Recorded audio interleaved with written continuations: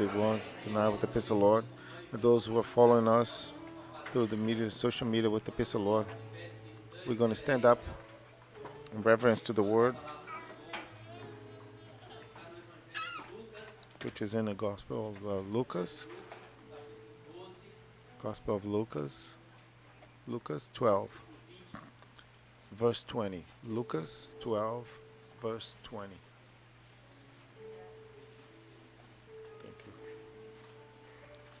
Luke 12. Luke 12, verse 20.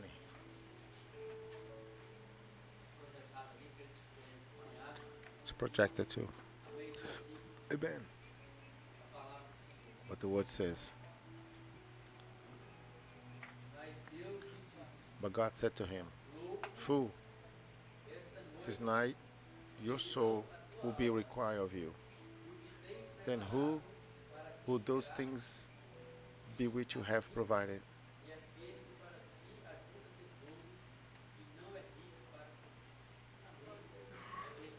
So it's the one who lays up treasure to himself and is not rich to our God.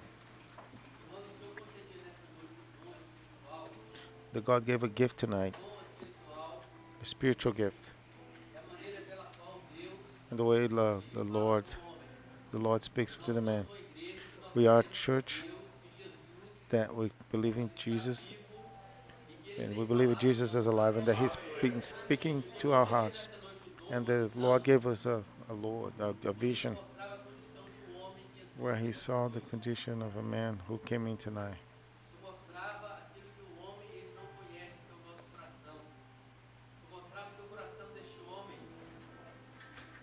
He the heart of this man had many plans, he had many goals, muitos objetivos a serem alcançados, many objectives to be reached. tanto material. Vou comprar isso, vou comprar aquilo, The- he had many plans to buy this and that. dinheiro, tanto dinheiro. He wanted this, many money. I want to invest this. I want to invest in that. Isso mostrava que ele entrava aqui nessa And the Lord showed that uh. That he came in tonight, but in a, in a minute he understood the project of the Lord. Diferentes. And, Deus Go- dizia para ele, olha, and God put different values with different amounts in his heart. Your values are only dawn, fasting, seek, seek for me. The desire of Lord was for him to leave this place understanding this. I'm going to be more faithful to you. And some, in some minutes he forgot and, and heard the Lord. And tonight the, this gift comes to, to show the word of the Lord is orienting us. What's the o Senhor, uma pequena palavra, ele vive uma experiência. He lives an experience, a bitter experience. The soul is something that the man cannot describe. The science, the science explain many things, but you that came in here tonight, be, know something. You have something inside you that's your soul, and the, and the soul, the man, which a scientific way cannot explain, cannot describe, and the soul belongs. Your your soul belongs to the God. When God creates the man, He. He blows the breath of life, and this and this soul is eternal. Whether you like it or not, your soul is eternal. It will live eternally. The man will die, When he, and the dust will come back to the earth, Porque o homem foi formado do because the man was.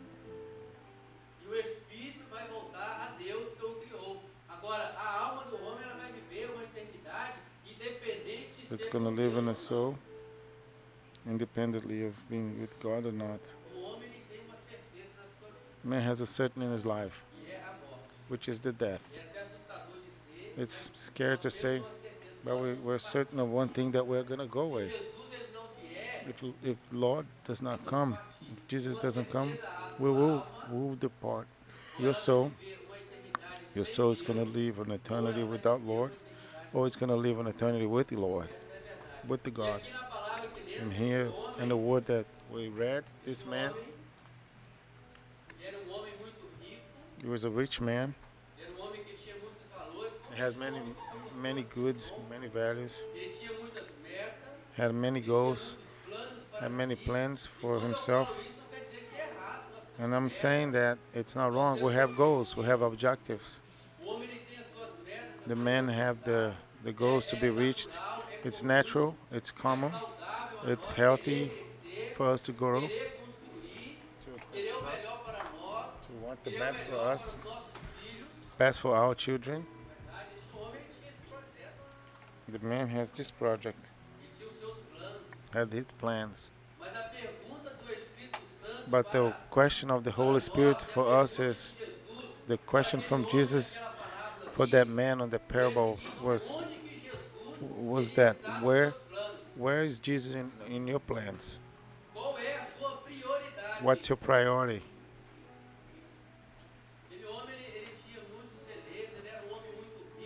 He was a rich man. The man talks about Era comum ali a agricultura, in agriculture talks about uma maneira de se alcançar riqueza. reach to Fosse hoje seria garagem para carro novo. if it was today today we'll talk about garage cars airplanes that time was uh, was food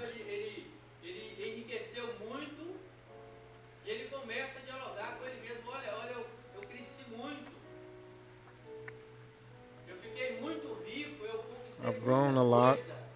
I made a lot of money I achieved many things seria muito comum dizer, olha, eu fui para os Estados Unidos, but for us it's ganhei muito dinheiro, very eu common to say I was I'm in the United States I made a lot of money I prospered Deus me abençoou, isso é muito God bom. bless me. Deus ele abençoou o homem, isso é muito bom, That's good. saudável. Não é pecado você querer crescer em Deus. it's not wrong for you to wanna grow. It's not wrong it's not a sin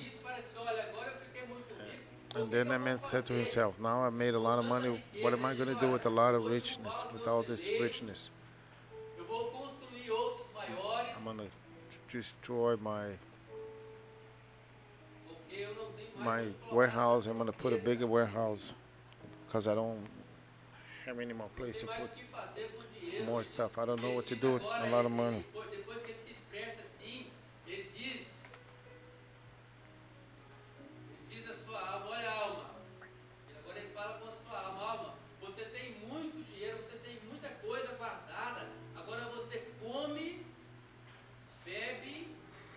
Now you eat, drink. That man forgot something.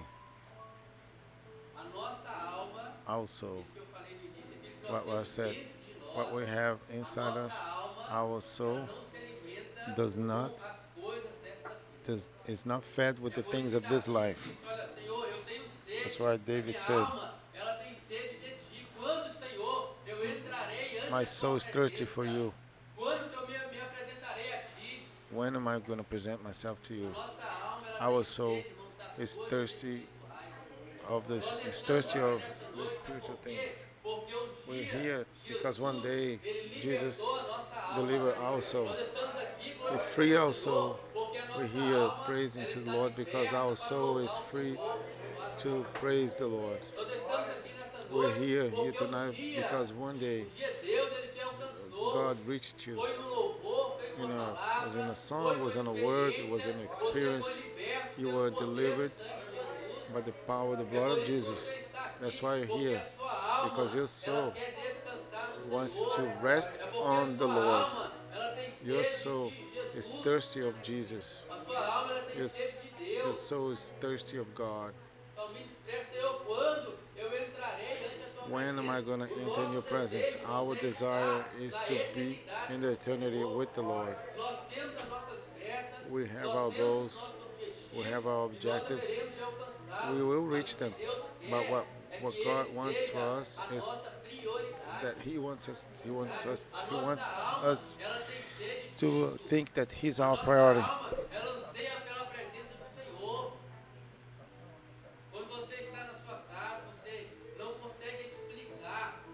We can tristeza explain The sadness of the soul, because the man cannot explain the psychological diseases have grown each day.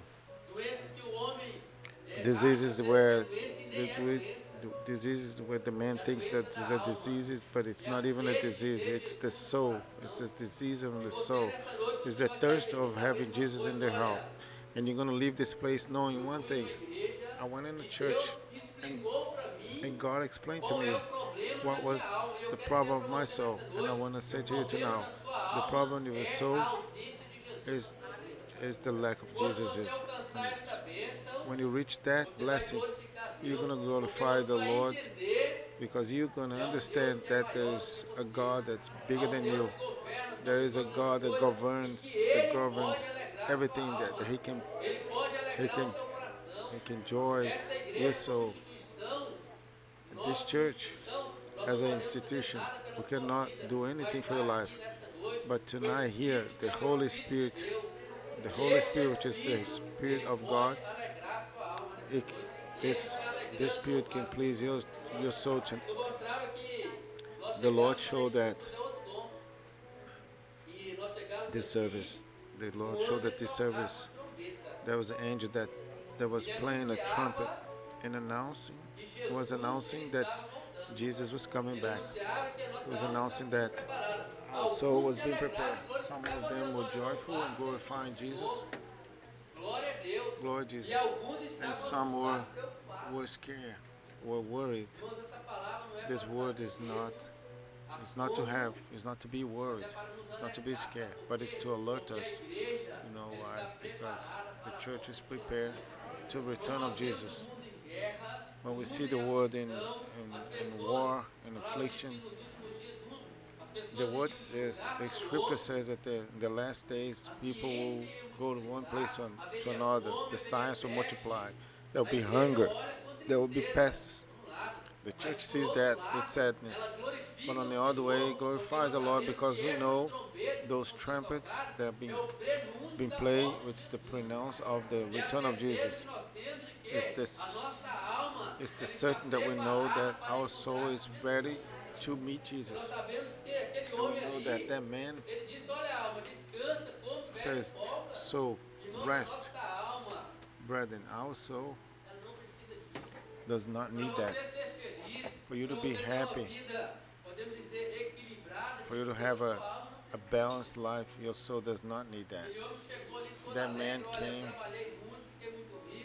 That man say, I came. I made a lot of money. And they said, now rest. Lays up treasure.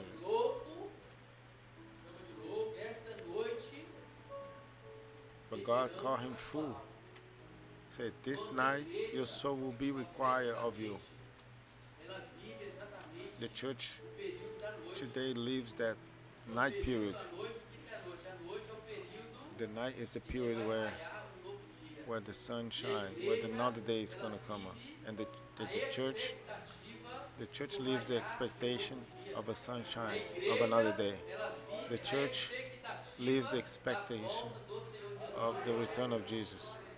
A The church is living at the moment of the night, waiting for the sunshine. If we turn out the light, it's gonna be dark. We're not gonna be we're not gonna be able to walk. We're gonna stumble on each other. Spiritually speaking, that's the night. It's the prophetic period of darkness. The darkness, scientifically speaking.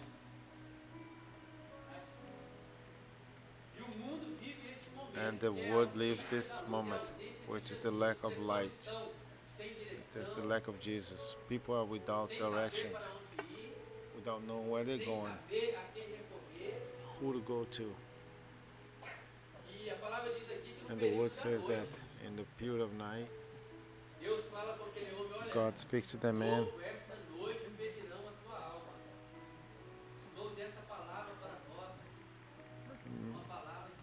Despertar. Brethren, this word for us, it's the word of awakening. It's the period that we wait. We're anxious for the return of Jesus, and He's going to come at any moment. The word says it's going to be in the blink of an eye. It's going to blink, be in the blink of an eye, He'll be back. Or your, it's either your soul going to go out, or it's going to stay here. There's not a third way. And there, God speaks to that man. God speaks to that man, say, Fool, this night your soul will be required of you. Our soul will be before, will be, will, will be pre- presented before God one day. Will be judged for everything that we've done in our life. The word says that. And God asked that man. God asked him something. So you, God says to him, you worry about richness, about making money, buying cars. You worry about a lot of things, material stuff. But though, but God asks, but God asks him, so what you have prepared, what have you prepared? For who is it going? For whom is it going to be?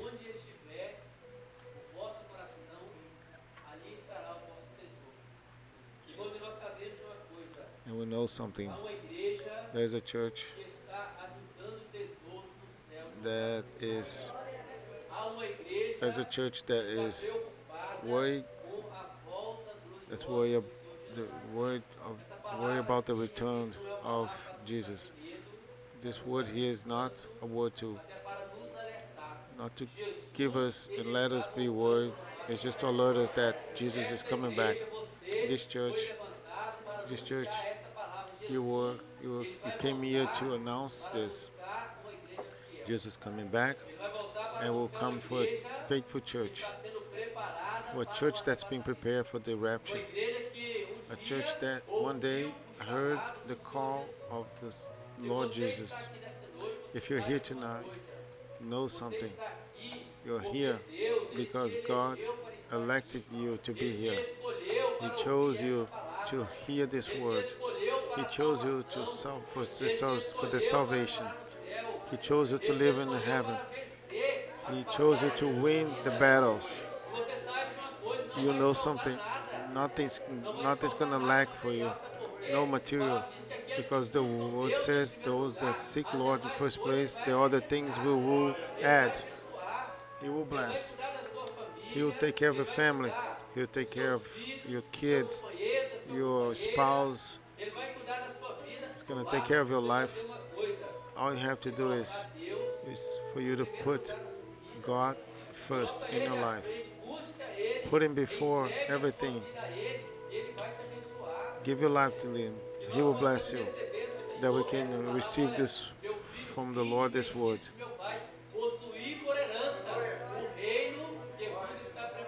Jesus is preparing for us for the rain. That's the hope of the faithful church. Our soul rests on the Lord. But the things, things will get better in Brazil because the word says the words. The things are going bad, but we know something. For the faithful church, there will be salvation. For the faithful, for, the, for you that rests on the Lord, waits on the Lord, there will be salvation. There's always going to be a, a way out.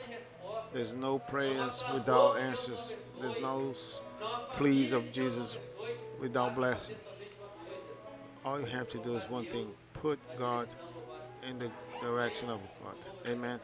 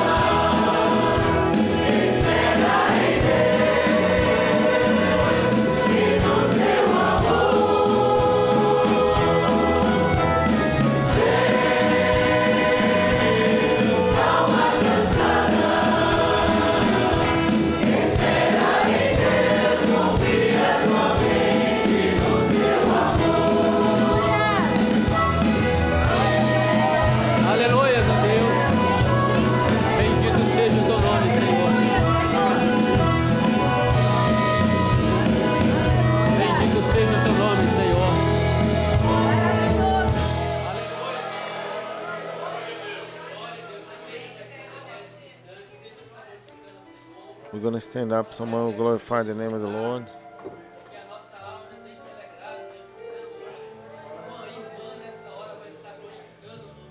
Someone will be glorifying the name of Jesus. We bless your name, Lord.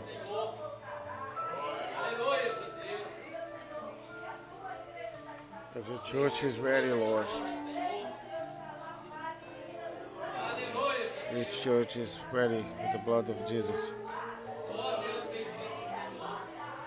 Because our soul, Lord, Aleluia. our, our soul asks for you.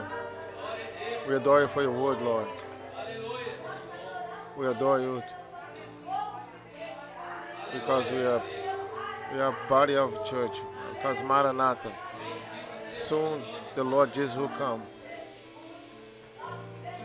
We place because this place is holy. Because we feel your presence. In the name of Jesus, amen.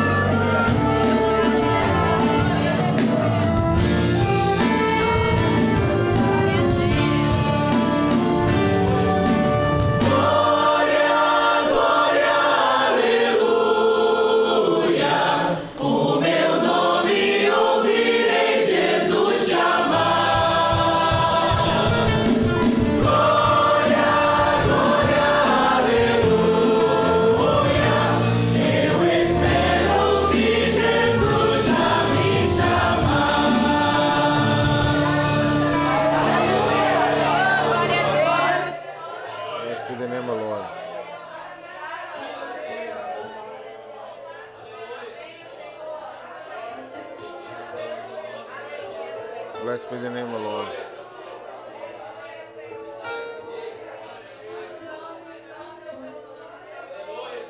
Glory to Jesus.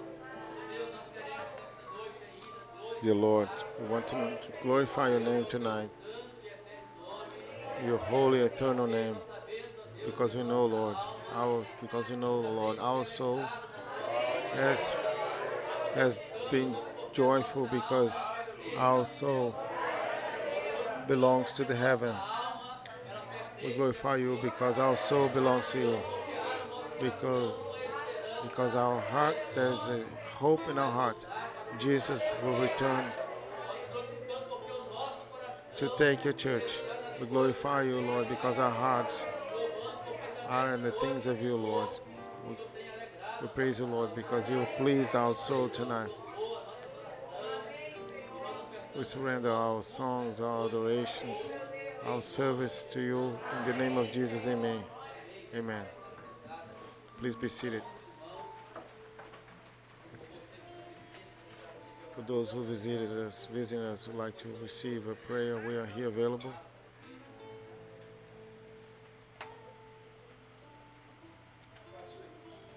Peace of the Lord.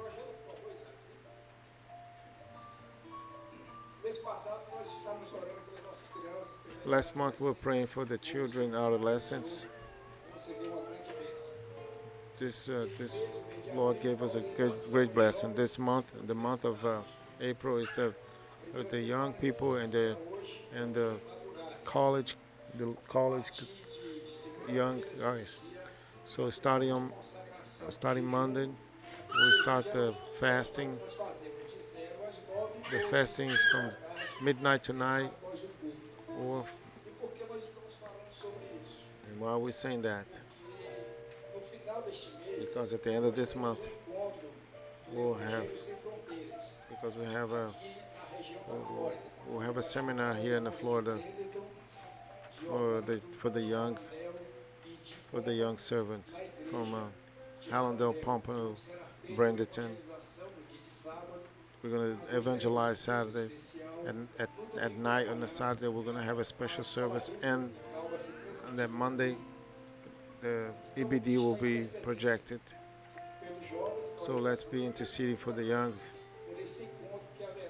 for that meeting that we'll have in the in the beginning of May in Hallandale.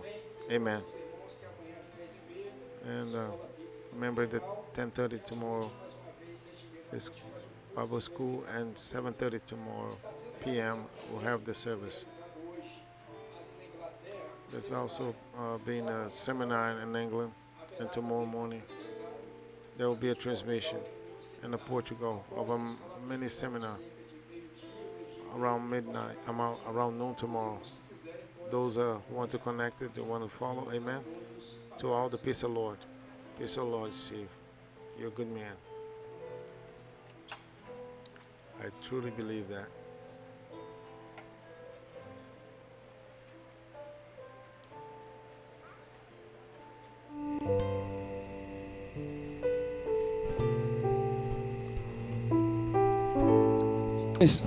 Os jovens, se, se quiserem, já podem se reunir. uh, the young, the, all the young uh, group wants to meet.